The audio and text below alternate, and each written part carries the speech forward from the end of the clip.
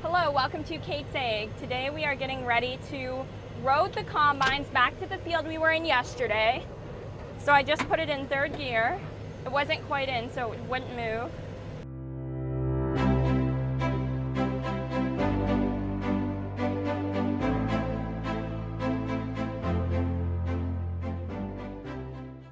Make sure Arvid's ready to go. I let the combines idle for a little while and then I revved it up because in the morning time you always want to give the combines a little bit of time to warm up. Just want to, yep, Arvid's right behind me. Um, hold on. I'm just going to let this car go in front of us because a combine's going to take up the road for a little while and we can't drive very fast. So if you see a car, you always want to let them go in front. Although I don't have a radio, so I don't know what's going on. It might be Uncle Chris. I think it is actually. Oh, turning. So we are good to go. I'm wearing my Kate's Ag shirt that is grown and made in the USA again because it's perfect for harvest time. It is 10:20 right now when we're getting started. Most operations start earlier and we used to, but just because we've been doing it so long, we start a little bit later. Got to slow down. The combine got a little bit turny there. I'm going to go to the approach on the shoot. I don't know how I should get on this field. I'm trying to think. Yesterday we got off at this part, so this is where I'm going to go. Arvid seems to be pretty far behind me, but he still is behind me. I don't want to completely lose him when I don't have a radio. So now I'll take a slight turn. Hopefully I'll be able to see where Arvid is at now. Oh, it seems like he's coming. Wonder why he's going so slow. I bet he's only in second gear. And because I don't have a radio, I can't let them know to get in third. So I have found the approach to the field and I'm going to get on it here. Drive to where we've been harvesting at. In fact, I think I'll put it in second gear right now. I don't know where they left off last night. Yesterday I took the evening off combining, so I'm just trying to figure out where they left off. I think I see it right now. There's not too much left of this field, which is really good actually. There are so many hawks. One, two, three, four. I see at least six in this field right now. So it's kind of interesting. Some years there are tons of hawks and others there aren't. Sometimes you'll see them come out of the wheat swath with something in their hands and usually it's a little mouse because mice like to hang out in the wheat swath as well. So my dad said definitely don't go four miles per hour in this stuff because it's good wheat. I'm just coming up to my row right now, so I'll slow down, idle it down, put the back of the combine in, and then put the header in, and wait till it starts moving, and then you rev it up, put your header on the ground. I just readjusted my header height setting, and I'm going to start harvesting. I don't see where Arvid is, Wow, this window is so clean. We cleaned it yesterday, so I cannot believe it. Wonder if that ladder's supposed to fold down. Oh, looks like Arvid's close behind me. So I'm going 3.4 miles per hour right now, and we'll see what my bushels per acre meter reads. I just have a 50 hour service notice. Um, it's reading 9 or 11 right now. It may have not had enough time in the wheat yet, though, to know. Now it's reading 14. These rows are starting to get very short because they end in one, two, three, four, five passes. And then we'll almost be done with this field by then, actually. You usually make a left turn when you come out of your wheat swath to line up to your next pass. But that would be if your left pass is right here, you'd make a left turn. I'm actually probably going to have to make a right turn because I think there's one less inside pass than there is outside passes. And it usually gets that way when you are closer to the center. And then I'm gonna lower my header a bit because I don't want it going up that high, maybe a little bit higher. And then do my full turn, set my header back on the ground, and get to harvesting because that's what combines are made to do. There is a hawk at the very end of my row, if you can see that. Super cool. And there's a hawk all the way over there also. They're everywhere. I wonder if he'll leave a hawk feather. Oh, and he's flying away. I don't see a hawk feather though, this time anyway.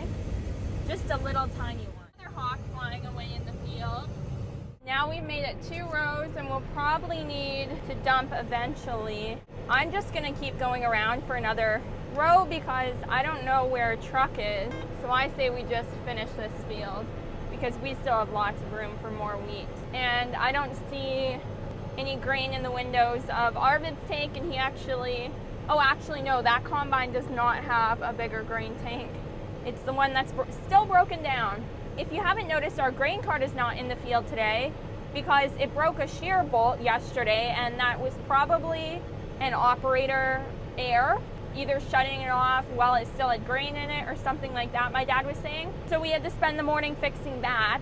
And my dad has to go to town to see if he can get this other combine fixed. So he's not able to operate the grain cart today. We'll just have to dump in trucks, but I don't even know if we have a truck at this end of the field because this is a 160 acre field. So the trucks are probably way down there. There might be one on top of this hill. I can't remember if I saw one there or not. I see a red truck going down the road though, so that might be to come and get us. I'm not completely sure. And then we'll move on to this field next, but we'll just keep going rounds until we completely fill up and then I'll try and get in touch with my dad. I'm not able to right now and I also don't have a radio to talk to Arvid, but I'll probably get one at lunch. Now I am making my turn to start another row. I'm just gonna look, there's nothing in my window yet. The swather rows at the end look like they just went all the way through rather than stopping and having another end pass. It's kind of just like a curve, which is a lot nicer, I think. I still don't have any wheat in my window, but this back window is full, which you can clearly see now because of how clear it is. We might actually get this little portion of the field finished before having to dump. That's what I'm hoping.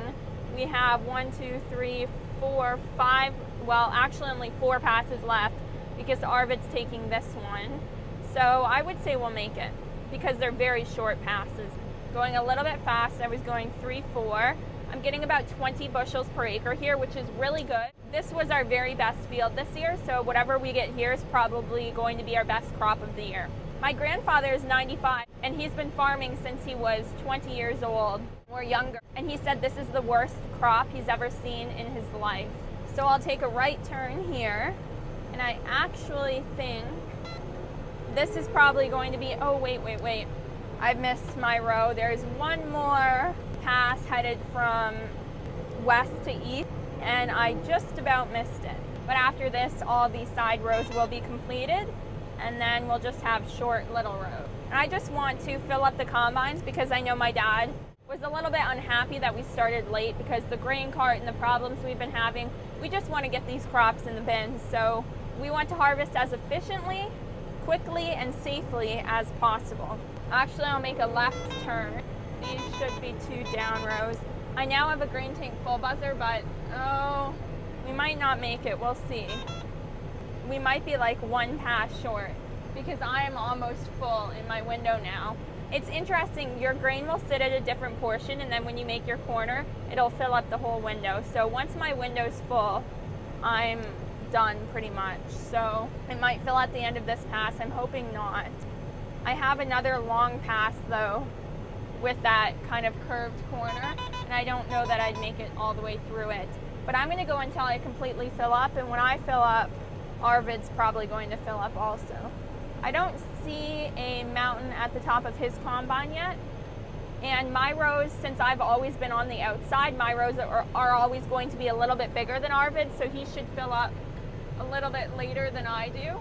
I'm going 3.3 miles per hour right now, and I'm directly heading south and actually looking at the white grain elevator my great grandfather built around the time when he homesteaded our farm. Well, not quite when he homesteaded, probably 10 or 15 years later. Ooh, it's getting full.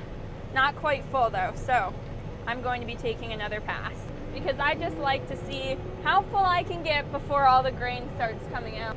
I am starting to see a pile in Arvid's grain tank, but he'll definitely make another pass and I'm thinking we can finish this because we only have my pass and one more back for Arvid and then we'll be good. I don't know that I'll make it all the way through that. This pass, though, is the problem. Arvid just waved at me. That was so nice, even before I could wave at him. That makes me so happy when the combines wave at each other. Oh, I think I'm gonna make it. I have determination. even though that doesn't really play a part in whether I'm going to fill up or not. I definitely hope I'll make it. I'm just going to drive over this hill and try and find a semi truck or get in touch with my dad or Uncle Chris to see where to dump or what to do. And Arvid will definitely make this pass too. It doesn't seem to actually be filling up very much more. When I turn around and I'm on a downhill slope, it'll fill up this window, I'm sure. Well, thank you so much for watching today's video. Make sure to like and subscribe to learn a little bit more about how your food gets to your table. You can also visit the Ag website, katesag.com, and purchase a Ag shirt that's grown and sewn in the USA or a Ag tote bag that's also made in the USA. And you can follow Ag on Instagram, K-A-T-E-S underscore A-G, and on TikTok, Facebook, Pinterest, Twitter, pretty much everywhere else. Thank you so much for watching. Bye!